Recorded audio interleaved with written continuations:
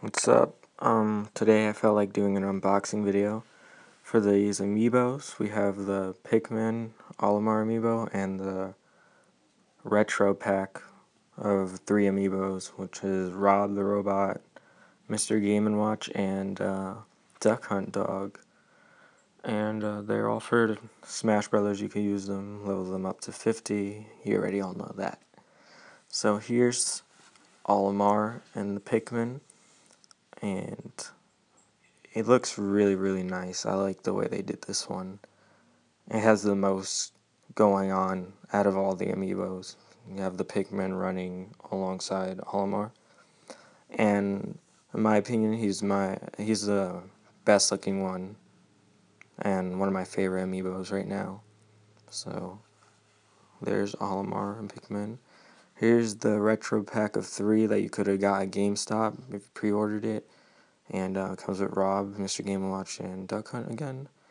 Here's Rob. I didn't expect him to be as big as he is. He's pretty big and wide. And um, this is the gray one. There's actually two Robs.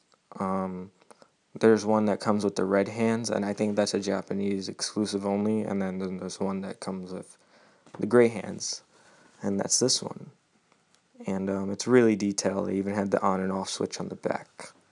So this is the duck hunt dog, and he's really cool and detailed. Um, the bird is really cool up there. I mean the duck, sorry. He's up there, and I really like this one too. Um, looks nice. And then we have Mr. Game & Watch. What's cool about him is he comes with three different poses. That's the first amiibo to do that. And um, I think they did that because he was flat and doesn't really have too much going on with him. So they gave him more stuff. That's how um, he comes. You could just take him off the platform or the base and stick him back on it. So that's the default pose. This is another pose from the game. Here's the parachute pose. And that's pretty much it. Oh yeah, and the bell. So that's all of them. I hope you enjoyed.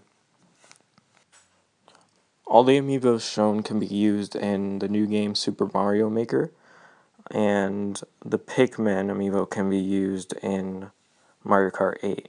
So if you just were wondering. Also, they all can be used in Yoshi's Woolly World Adventure. I think that's what it's called. Yeah. So they have a lot of games they can be used other than Smash Brothers.